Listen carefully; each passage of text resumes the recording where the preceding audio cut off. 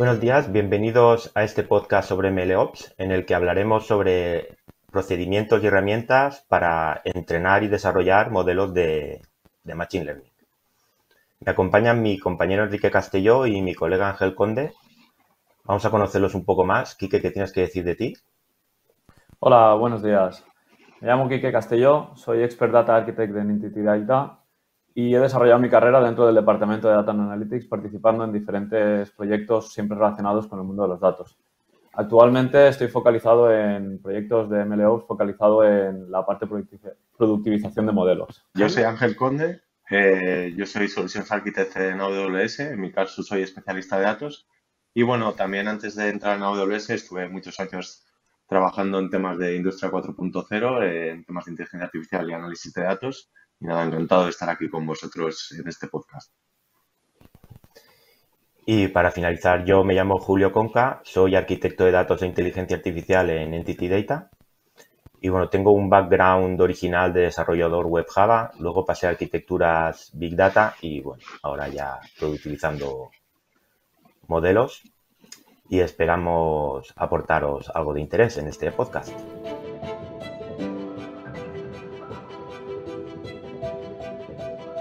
La primera pregunta es obligada.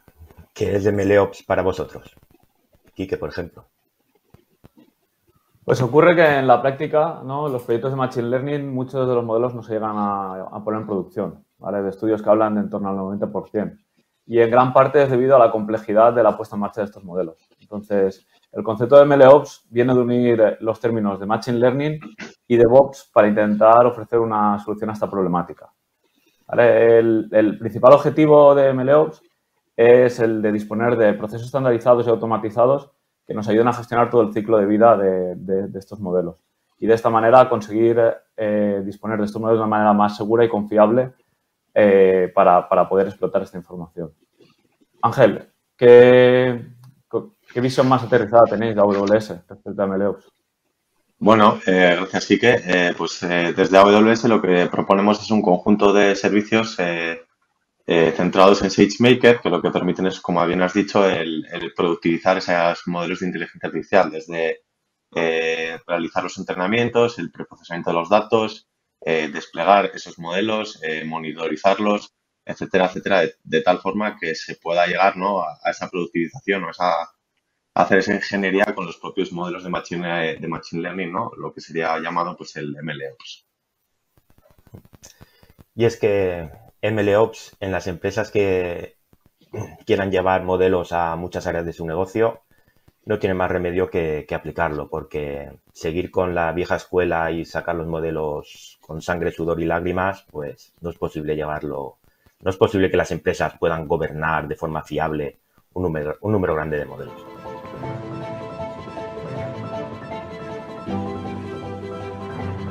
Vamos a pasar por todas las fases de lo que es el ciclo de vida de un modelo y en cada una de ellas pues hablaremos un poco, un poco más sobre ellos. Eh, hemos dividido este ciclo de vida en ocho fases. Bueno, mm, podrían ser seis, siete, agrupar de una forma o de otra, pero en esencia todas tienen el mismo, el mismo contenido. El primer paso sería la oportunidad de, de negocio, ver un caso de uso viable por cuestiones legales, por que hay disponibilidad de datos que describan el problema y porque ese caso de uso, el dinero que se invierta, pues se recuperará. Luego, el segundo paso es el descubrimiento y adquisición de datos, es identificar los datasets que describan el problema y poder ponerlos disponibles a los data science. La tercera fase es el feature engineering, que sería seleccionar variables descriptivas y adaptarlas de forma que el modelo las entienda. Un modelo no siempre admite los datos tal cual, tal cual están en, en negocio. El ejemplo clásico es el One Hot Encoding, cuando pues, hay códigos que, que, un código de oficina, el 25 o el 26 no le dice nada al modelo. Entonces hay que hacer ahí una transformación. Cuarto paso sería el modelado, donde pues con, se elige qué, algoritmo va a utilizar, se prueban distintos algoritmos, mm, distintas estructuras, distintas formas de, estructurar ese, algoritmo. Y bueno, se, va probando, se van probando nuevas features, se va iterando, volviendo al punto de descubrimiento de adquisición o al punto de feature engineering hasta que se consiga un modelo prometedor.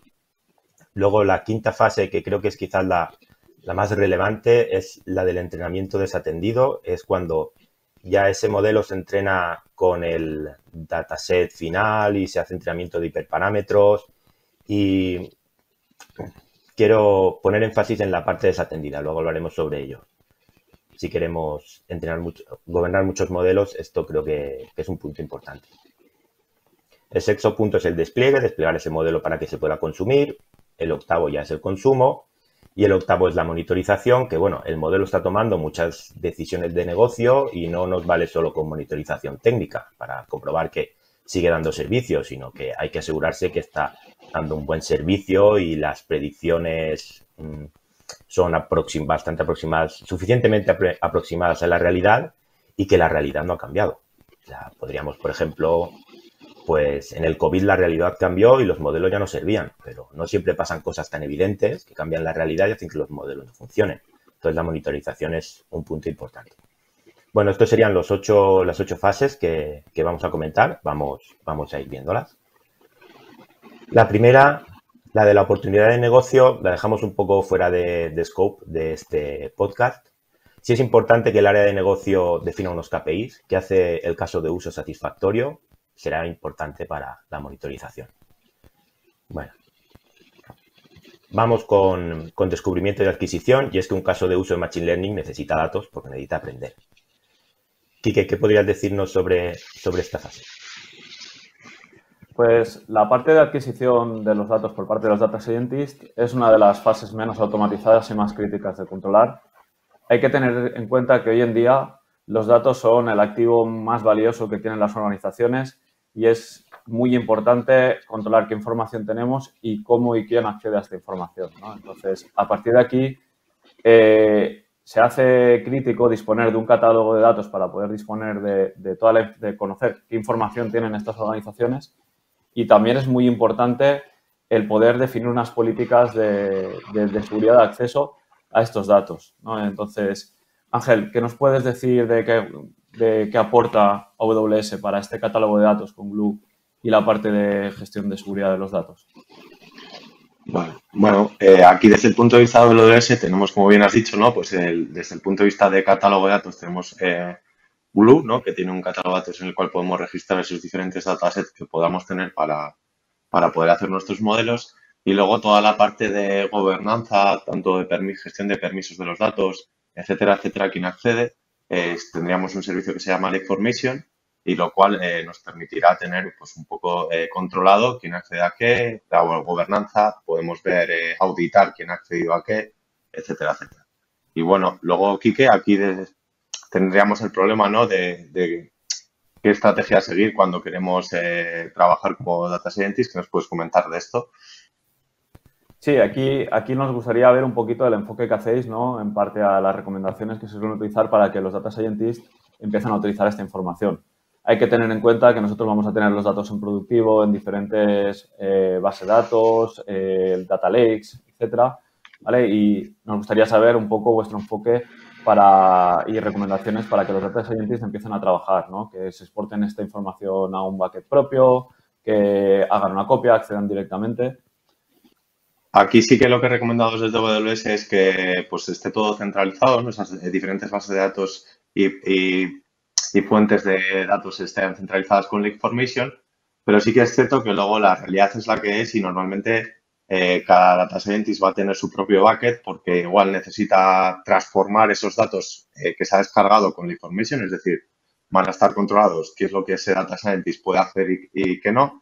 Pero sí que es cierto que igual los datos los tenemos almacenados en un formato, pero el modelo necesita otro formato, hay que hacer otras transformaciones y por lo tanto sí que vemos que, que de manera práctica al final cada data scientist va a tener su propio bucket en el cual va a poder hacer esas transformaciones intermedias, esas pruebas aunque tenga esos datos almacenados, eh, los datos, la fuente de datos original, que sea gobernada por la information.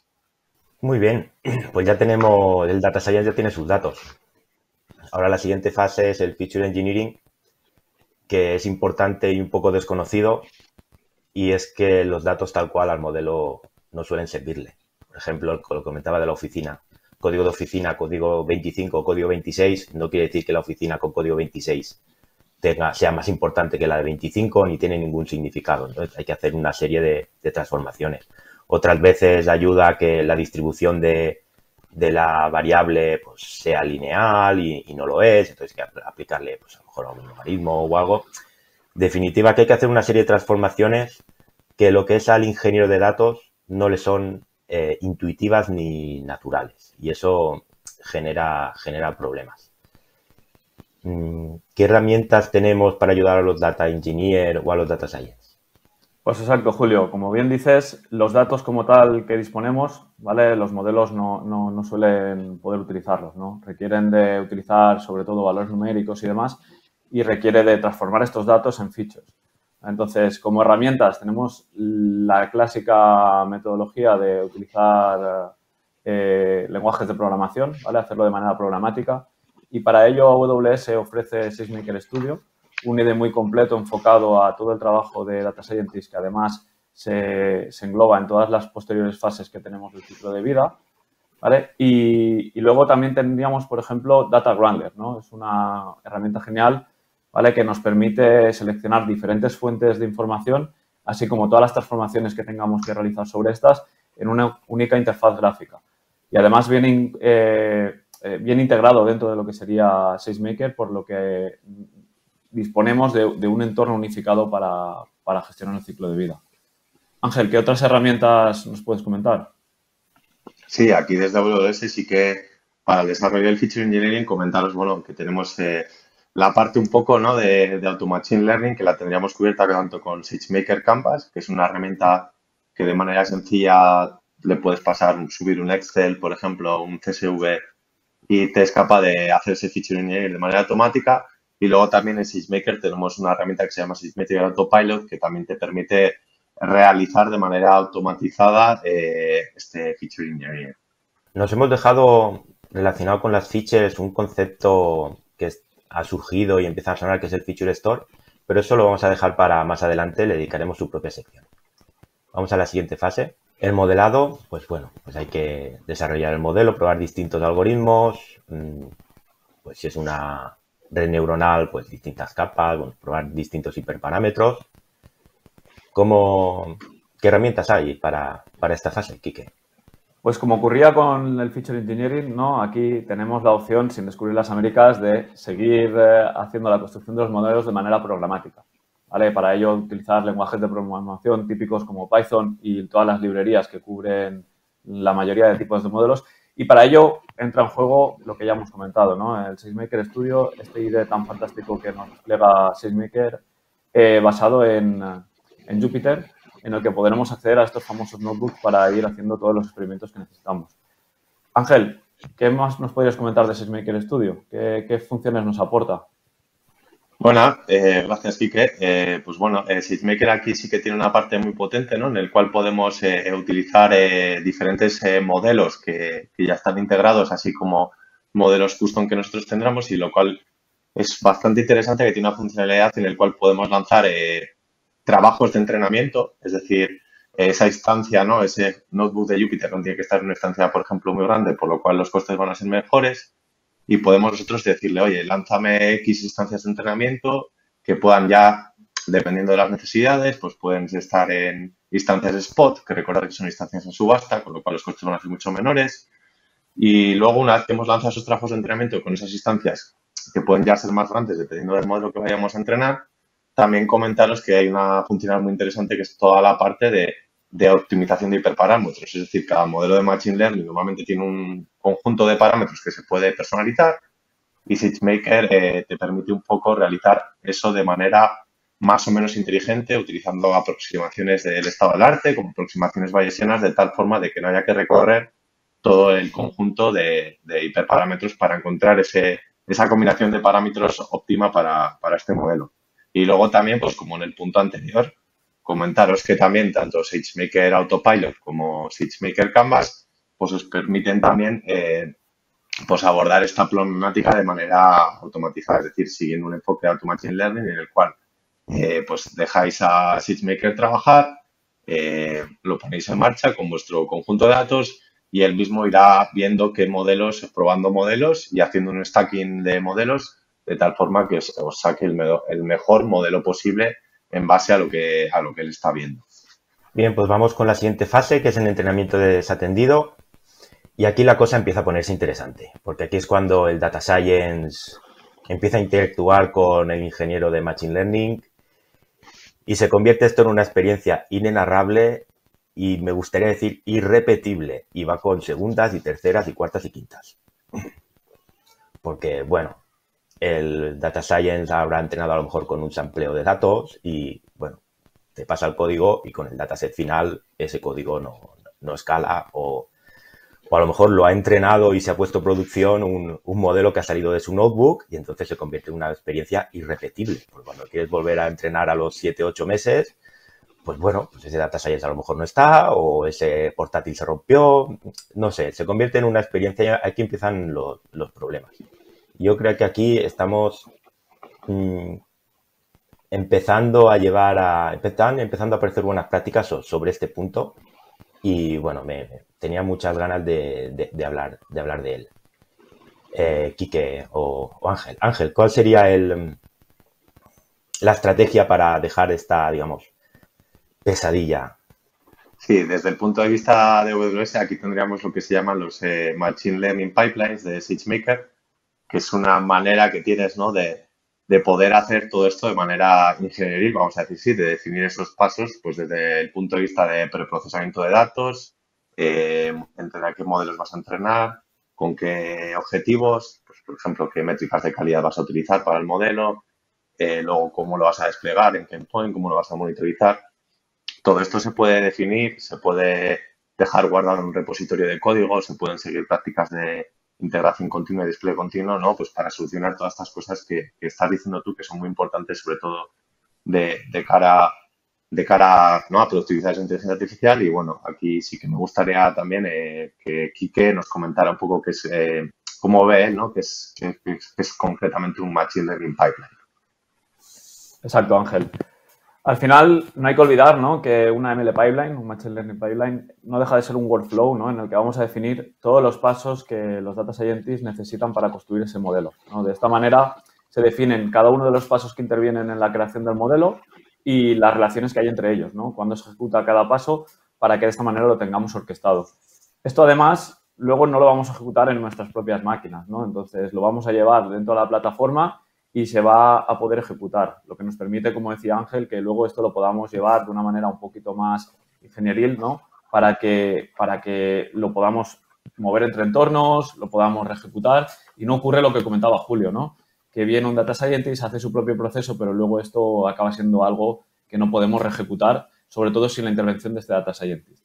¿no? Entonces, otra de las cosas buenas que nos aporta esta, esta ML Pipeline es que como entrega al data scientist se, les, se le pide una pipeline, ¿no? Y aquí no limitamos eh, los pasos que puede seguir para poder hacer el modelo. Entonces, ya que tenemos multitud de tipos de modelos, esto le abre la posibilidad a que pueda trabajar sin ninguna limitación.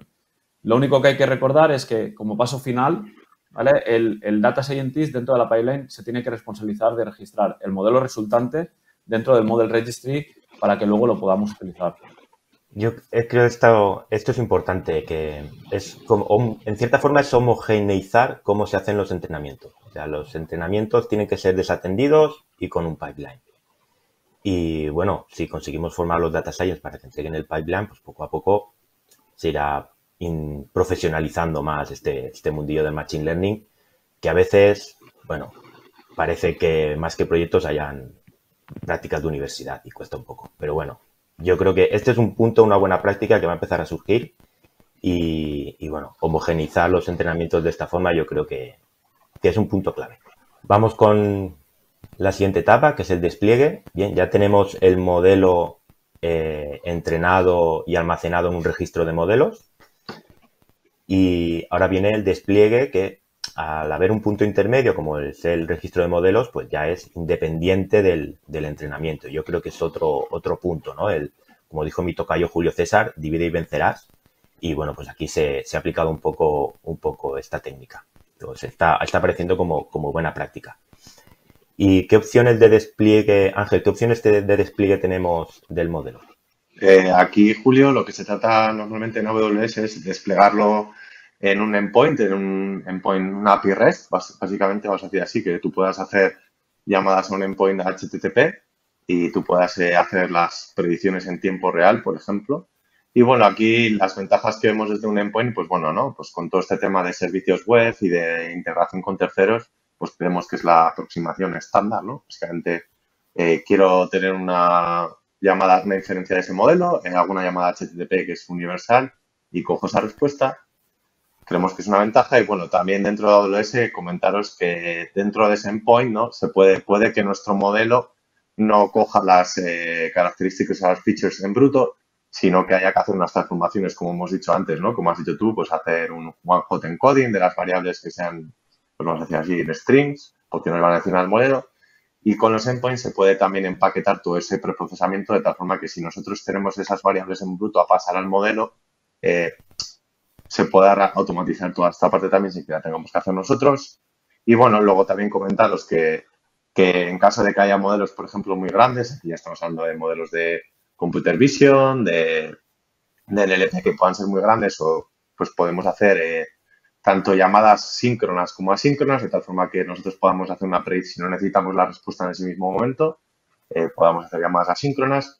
Y luego también de cara al coste y escalabilidad, pues tenemos también eh, endpoints así, serverless, en los cuales no tenemos que definir nosotros la, la distancia, ¿no? el tipo de distancia que va, que va a hostear ese modelo, y nos va a permitir escalar hacia arriba o hacia abajo. Es decir, eh, por ejemplo, si tenemos un caso de uso en el que tenemos picos de tráfico eh, a ciertas horas del día, que pueden ser grandes, pero luego el resto del día eh, pues no vamos a tener tráfico sobre ese endpoint, pues podemos utilizar la aproximación serverless de tal forma de que solo paguemos por, por, ese tiempo de uso que estamos usando y de tal forma de que si esos picos de tráfico son muy grandes, pues que también tengamos asegurada la, la escalabilidad de, de nuestra solución.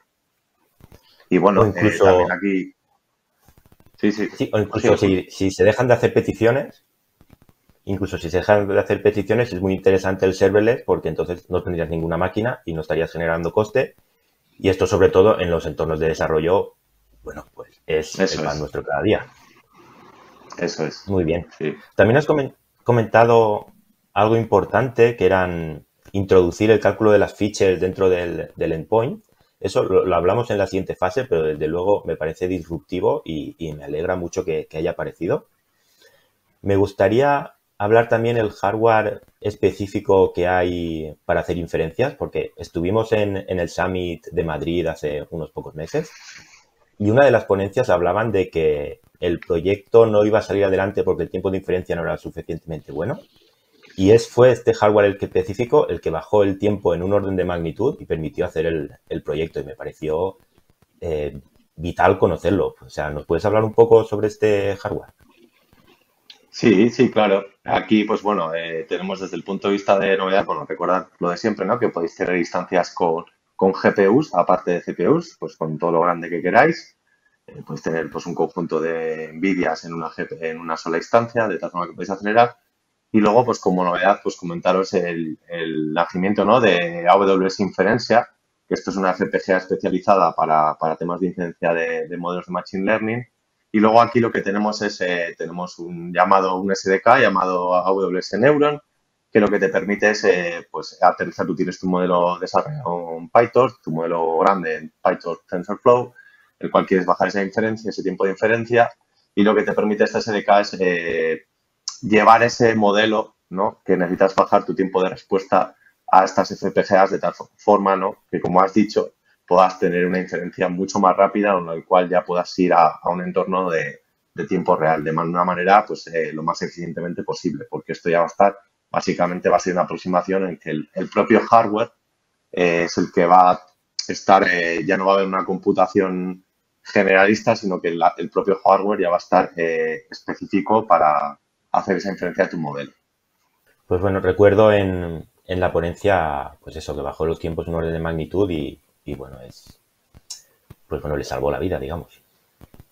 Bien, pues vamos a retomar, vamos a cerrar ese KitKat con el hardware, vamos a retomar los endpoints y ahora la siguiente fase del ciclo de vida sería consumir esos endpoints. Y es que ahora habiendo endpoints, consumir un modelo es sencillo, bueno, es sencillo a priori, porque los inputs del modelo no son los inputs de negocio.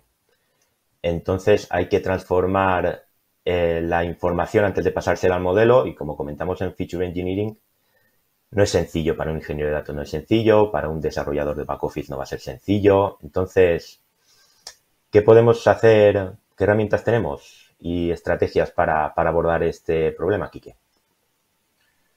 Pues exacto, Julio. Como bien comentas, cuando disponemos de los datos, normalmente no van a ser datos que vayamos a dar de entrada directamente al modelo. Entonces, va a requerir de un proceso.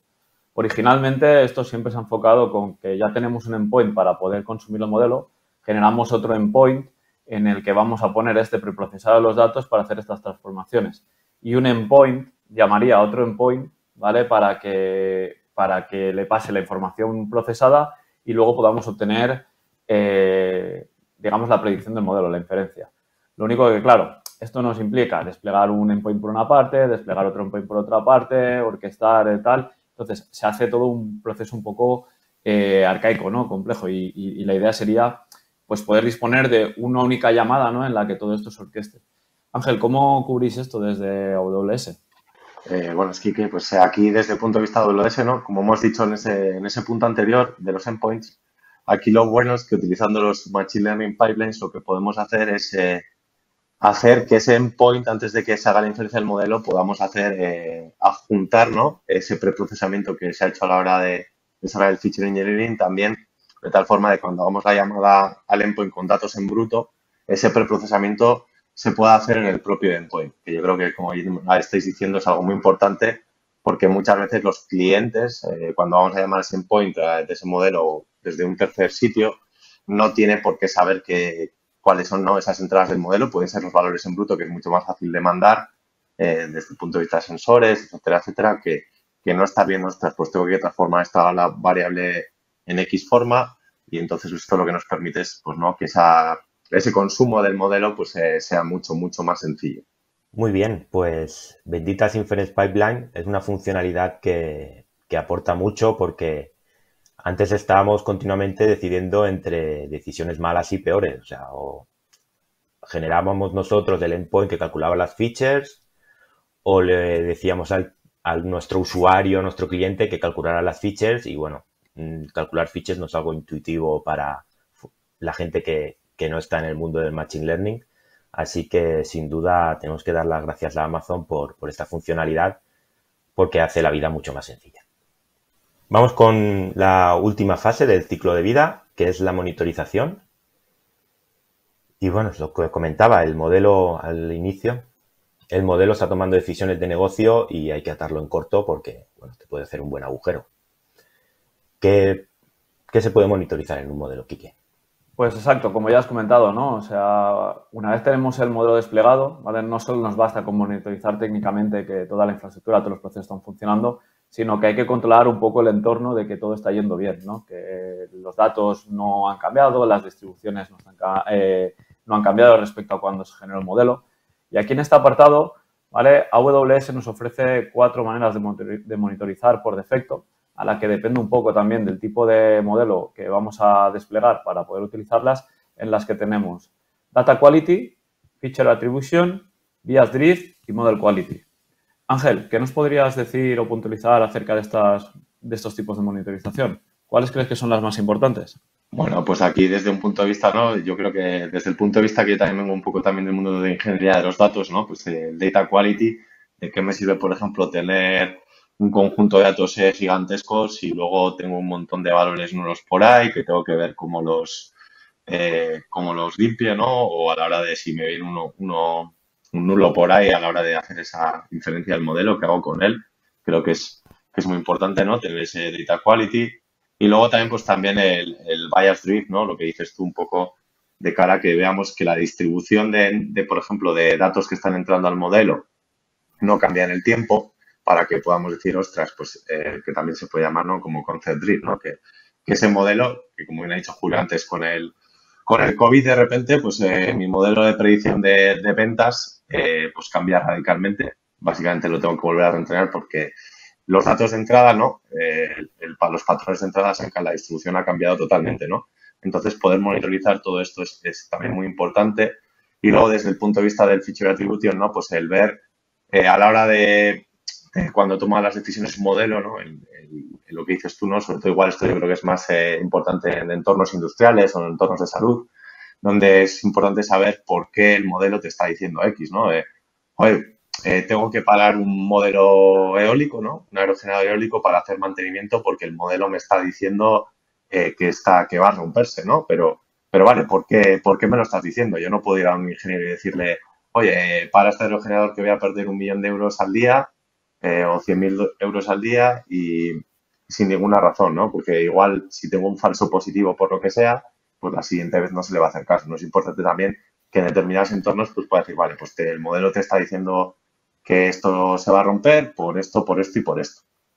Y yo creo que, bueno, pues todas un poco tienen su importancia, pero bueno, aquí luego también, eh, pues, eh, comentaros, eh, comentar, ¿no? Si queréis el ciclo de vida, ¿no? Aquí, Julio, no sé cómo lo ves tú, ya que ya hemos acabado el círculo, o estamos acabando. Sí, ya hemos acabado el círculo. Algunos temas los hemos dejado más adelante y, bueno, vamos con ello.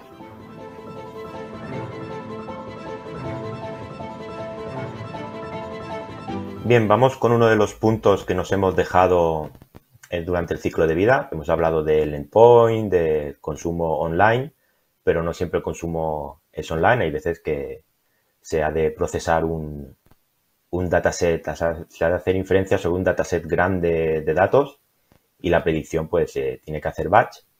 Y aquí tenemos que elegir entre una decisión mala y una peor. tenemos que hacer un batch. La primera parte no hay problemas, hay que calcular las features, lo reprovechamos del, entrenamiento, es el mismo código, pero cuando vienen las inferencias es cuando empiezan los problemas. Puedes utilizar el endpoint y por cada registro llamar al endpoint, eso computacionalmente es mucho más costoso. La segunda opción es usar el modelo directamente del registro. Entonces eso, al no dejar de utilizar el endpoint, todas las funcionalidades que nos proporciona el endpoint para monitorización, pues digamos que, se pierden. Y entonces tenemos que elegir entre, esa decisión que hay una mala y otra peor. Pero bueno, Quique, ¿cómo se hace este tipo de, predicciones? Pues eso es, Julio, como comentabas. Eh, el endpoint está muy bien, ¿vale? Nos sirve para hacer predicciones online, ¿vale? Registro de registro. Pero, ¿qué ocurre cuando queremos hacer un, lote de predicciones continuo? ¿no? Es, ineficiente hacer esas llamadas a los endpoints. Entonces, típicamente lo que se ha trabajado siempre es disponer de un orquestador, ¿no? de un planificador en el que vamos a planificar ¿no? qué lote, ¿no? cuando tengamos un conjunto de datos que queremos eh, inferir con el modelo, eh, esta herramienta nos dice cuándo vamos a lanzar y con clústeres de Spark, ¿vale? Hacemos la, la explotación del modelo y nos devuelve los resultados. Esto tiene algunas limitaciones, ¿no? Porque una de las funcionalidades, como comentaba Julio en los endpoints, es que tenemos la monitorización del modelo y demás, ¿vale? Y esto nos limita en ese aspecto porque pretendíamos la monitorización en, los, en, las predicciones batch. Entonces, Ángel, ¿nos podrías comentar qué, mejoras habéis introducido desde AWS para, para, solventar este problema? Bueno, sí, aquí lo que tenemos es la funcionalidad, ¿no? La batch transform, que aquí en su día se podía hacer como eh, lo que estáis comentando, eh, la parte offline, ¿no? Que sí que es cierto que perdías un poco toda esa monitorización del modelo, pero ahora lo que tenemos es, son los llamados inference eh, pipelines, que es una manera de hacer esos batch transform, es decir, poder hacer, imaginar que estáis con un dataset muy grande, podéis utilizar ese, procesar los datos o hacer las transformaciones con un cluster de Spark y luego de tal forma que se vaya llamando a ese, a endpoint de manera desatendida, de tal forma que tenéis un poco lo, lo mejor de los dos mundos. O sea, no perdéis, o podéis hacer ese preprocesamiento de conjunto de datos grandes eh, de manera más o menos automatizada y de manera escalable, pero a la vez eh, lo que conseguís es eh, no perder no esa monitorización de, la, de, cómo lo está haciendo el modelo, que, es la que hemos dicho que es muy interesante y que anteriormente, pues igual si utilizabas el Bus Transform sin el endpoint, pues lo perdías y si tenías que hacer tu mano a mano esas, eh, esas llamadas en un conjunto de datos muy grandes, pues también no era del todo lo eficientemente que, podría llegar a ser. Pues muy bien. De nuevo, desde Amazon Web Service nos habéis evitado tener que elegir entre una decisión mala y peor. Así que muchas gracias de nuevo. Vamos con otro punto que nos hemos dejado durante el ciclo de vida.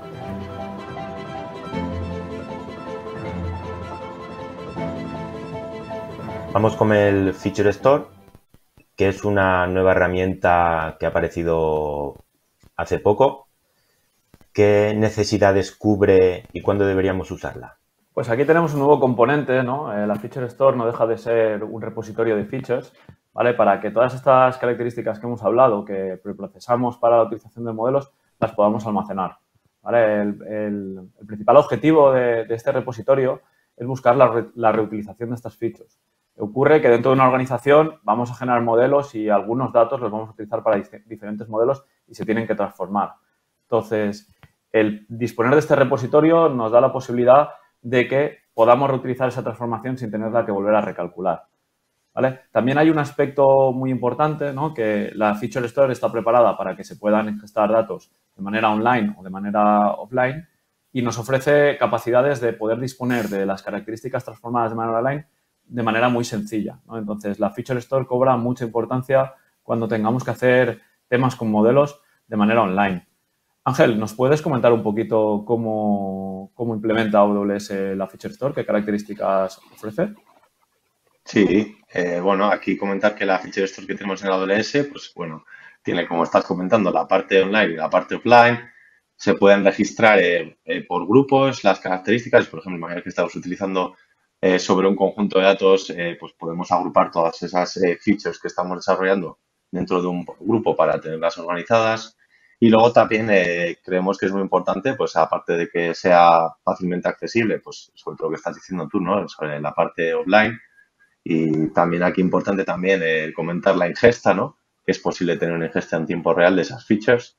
Pues eh, luego también pues, está completamente integrado con la information, que recordar que es el servicio que tenemos un poco para todo el tema de permisos, gobernanza de datos, de tal forma que una vez que se estén ingestando los datos y estén en la feature store, pues cuando alguien quiera acceder a ellos, pues eh, estén con unos permisos o, les des permisos a un data scientist para acceder a X features o a un cierto grupo de features, pero a otros no, etcétera, etcétera. Y todo eso está eh, gestionado y, centralizado en la information.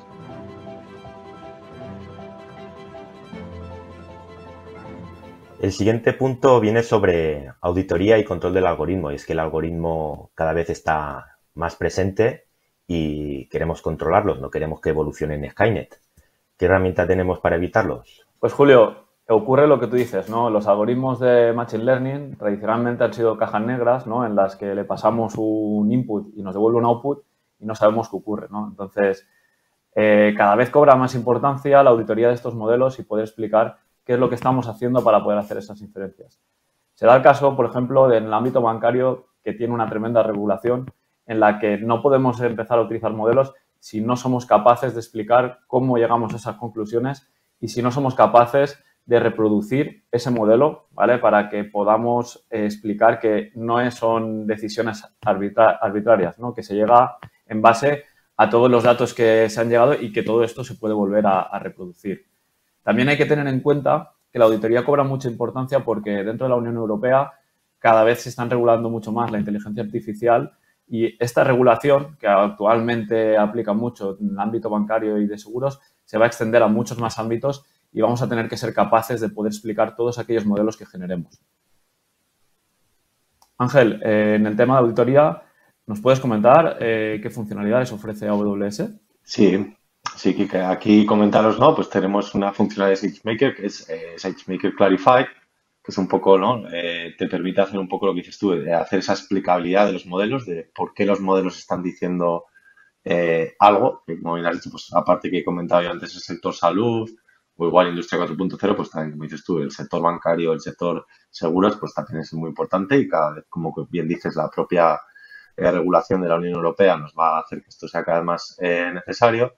Y bueno, aparte de, de todo esto también, pues como hemos ido comentando, ¿no? Que también es eh, muy importante, aparte de todo esto, la, reproducibilidad. es decir, con que si yo entreno un modelo ¿no? y, tengo mi pipeline ¿no? de, ya lo he hecho bien, ¿no? Y tengo un pipeline de tal forma que lo pueda registrar y realizar ese entrenamiento desde cero a los seis meses después, aquí tenemos un problema, ¿no? Con los data lakes y, bueno, pues también hay unas herramientas que te permiten versionar los datos que, que harían fuera un poco de este webinar, pero también sí que, que entendáis, ¿no? Que es una parte también importante porque imaginaos que tengo un conjunto de datos, ha podido evolucionar en el tiempo porque tengo más datos o porque alguien ha hecho una transformación diferente y entonces, ¿cómo puedo comparar mi modelo eh, que está entrenado de hace seis meses con el mismo modelo, ¿no? Con ahora mismo, si han evolucionado datos, no puedo hacer comparaciones reales. Por mucho que tenga ese Machine Learning Pipeline bien definido, con ese proceso, con ese mismo modelo, pues también nos faltaría eh, toda esa parte.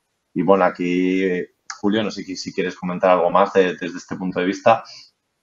Por mi parte, poco más, que esperemos que no evolucione, el algoritmo no evolucione en Skynet y, y nos fastidie la existencia.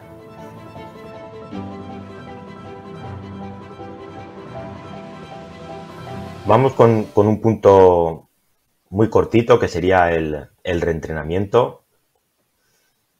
Ya tenemos muchas piezas, solo tenemos que unirlas para cuando el modelo deje de ser útil, eh, hacer una nueva versión.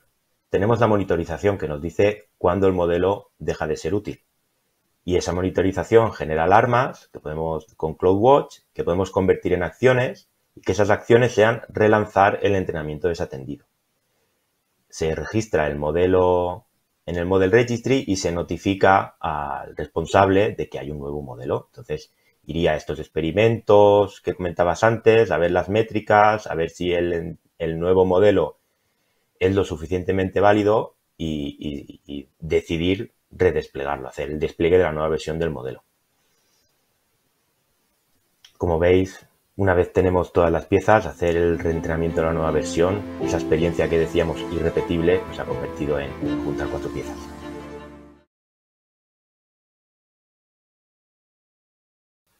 Vamos con el punto final, que serían las lecciones aprendidas pues alguna lección que hayamos aprendido durante nuestros proyectos en MLOps. Yo tengo una que es estar muy encima de los data science mm, durante el desarrollo y el feature engineering, no esperar a que tengan el modelo a la hora de entrenarlo. Os cuento una, anécdota de los primeros proyectos de Machine Learning en los que participé. Pues bueno, pues el Data Science tenía un CSV con el que hacía el modelo, eh, entrenaba el modelo y luego un CSV del que hacía la predicción. Yo durante el, desarrollo le decía que eso se tenía que explotar como un servicio REST y que lo tuviera en cuenta. Pues supongo que él no sabía lo que era un servicio REST. Y cuando fui a implementar, a generar el servicio REST, le dije, muy bien, ¿y cuáles los datos de entrada, yo pensando, ¿cuál es el JSON que necesitas para el entrenamiento?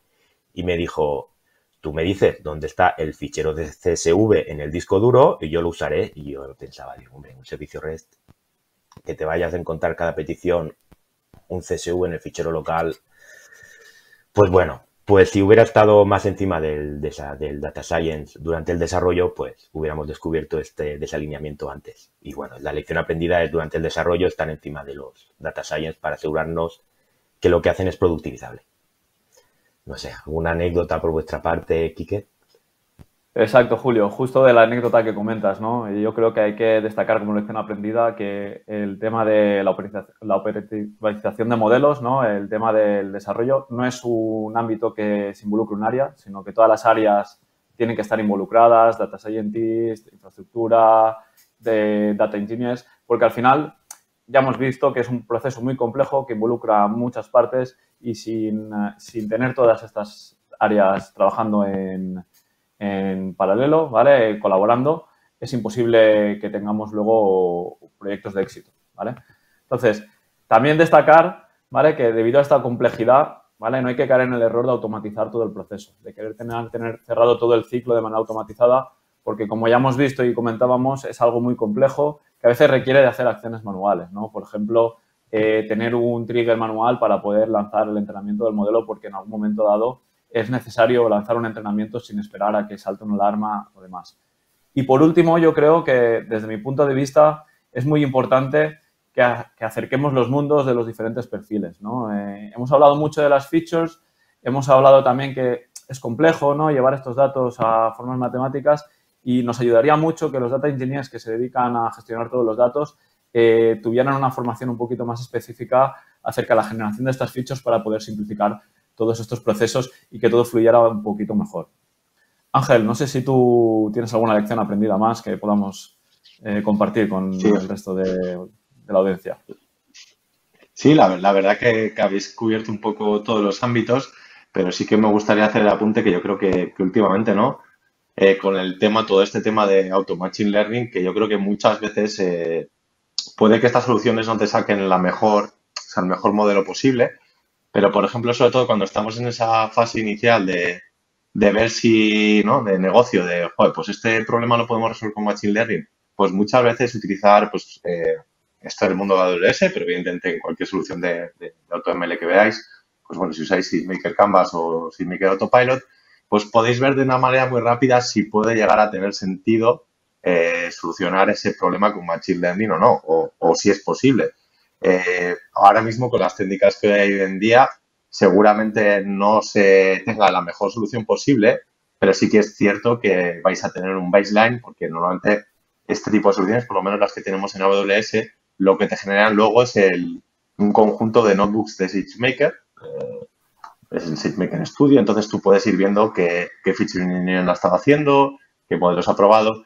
Entonces, que creo que es una manera rápida, por lo menos, de tener una primera iteración de decir, eh, oye, este problema de negocio con los datos que tengo ahora mismo eh, tiene sentido o lo podemos atacar con Machine Learning, por lo menos para tener una primera idea y igual tenemos que basarnos. Igual la respuesta no es que no tiene sentido, sino que, ostras, pues eh, antes de ponerme a, hacer, a meter más horas, lo que tengo que hacer es mejorar mi adquisición de datos, por ejemplo. Pero nos puede permitir sacar conclusiones de manera rápida. Sí, sin duda tiene todo el sentido para pruebas de concepto, incluso para MVPs. Y, bueno, empiezas por ahí, le vas sacando el jugo y lo usas cada vez en más ámbitos. Pues bueno, esto es todo. Esperemos que os haya aportado. Nos hemos dejado sin duda cosas, pero creemos que lo que hemos hablado es suficientemente interesante. Esperamos que hayáis llegado hasta el final, nos hayamos aburrido por el camino. Y bueno, pues nos vemos en los bares. Hasta luego. Muchas gracias. Gracias.